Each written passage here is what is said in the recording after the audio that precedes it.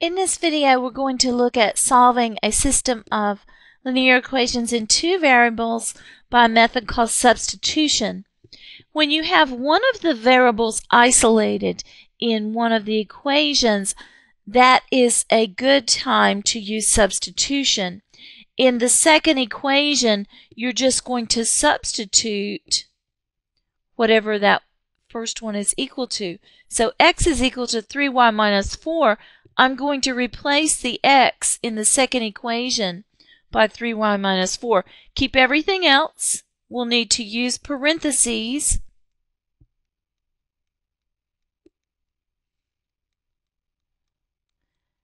And then we solve. So distributor 2 gives us 6y minus 8 plus y equals 3. Put your y terms together. 7y minus 8 equals 3. Add your 8 to both sides. So 7y equals 11 and divide by 7. So we get y equals 11 over 7. That is the y coordinate. You have to substitute back into one of the equations to solve for x. So I'm going to substitute into the first equation. So I'm going to plug this value back in as the y. x equals 3 times 11 over 7 minus 4. We have to multiply the 3 times 11 over 7, so that's 3 over 1. Nothing cancels for us, so we have 33 over 7 minus 4. Uh, we're going to have to do some fraction work here to combine those. We need a common denominator. Right now we have 4 over 1. So our common denominator will be 7. So we need to multiply the second fraction by 7 over 7. So we have 33 over 7 minus 28 over 7 equals 5 over 7. So our solution, this is the x coordinate 5 over 7. And our y coordinate we had found first, 11 over 7. So 5 sevenths and 11 sevenths. For our next problem that we're going to solve by substitution, the y is isolated in the first equation. So we're going to plug this 3x minus 1 into the y for the second equation. So we'll keep our 2x plus 3. We'll use parentheses Substitute our 3x minus 1 for that y equals 19. Now we have a linear equation with one variable. So we'll solve, uh, simplify first. So keep your 2x plus, this will give us 9x minus 3 equals 19. Put your x terms together, so we have 11x minus 3 equals 19. Add your 3 to both sides. So 11x equals 22 and divide by 11. So x equals 2. That's step 1.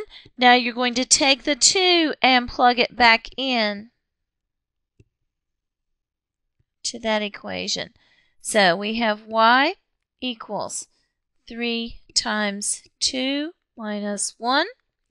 6 minus 1 equals 5. So our solution is 2, 5. For our next system, we do not have a variable isolated, but we're told to solve by substitution. So we will need to isolate a variable in one of the equations. It could be in either one. I chose to isolate the x. If I subtract 3y, so I have x equals negative 3y. Now I have a variable isolated. I will substitute for that x in the first equation. So I have 2 times negative 3y minus y equals negative 7. This will give me negative 6y minus y equals negative 7.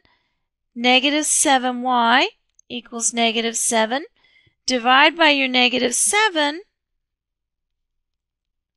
and you get y equals positive 1. So we need to plug that back in. I'm going to plug it into this one. So I have x equals negative 3 times 1 gives me negative 3. So my solution is negative 3, 1. For the next problem, we will need to isolate a variable to solve it by substitution. So I'm going to choose to isolate the y in the second equation, which means I need to subtract 2x. So I'm going to keep my y, subtract 2x minus 3. Now, I will substitute this into the first equation. So I have 6x plus 3 times negative 2x minus 3 equals 14. So 6x minus 6x minus 9 equals 14. Uh, notice what happens to your x terms here. They cancel out. Negative 9 equals 14. You have a false statement. There's not going to be a solution. This one is no solution. To solve this system of equations by substitution, we will have to isolate a variable. So in the second equation, I will isolate the y. Means I need to subtract the 4x. So y equals negative 2 minus 4x. Substitute that expression into the first equation for the y. 3x minus 2 times negative 2 minus 4x equals 8. Distribute. So we have 3x plus 4 plus 8x equals 8. Like terms together, 11x plus 4 equals 8. Subtract your 4. So we get 11x equals 4. Divide by 11. So we get x equals 4 elevenths. We need to plug that back in.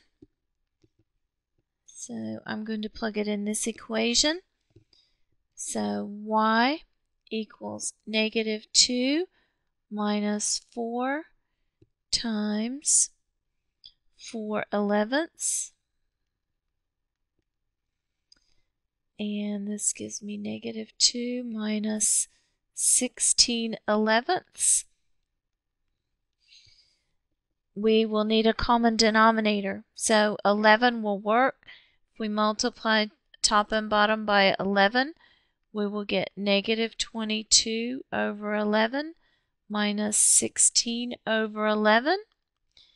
Keep that denominator and combine the numerators to give us negative 38 over 11. Uh, so our solution is 4 elevenths and negative 38 over 11.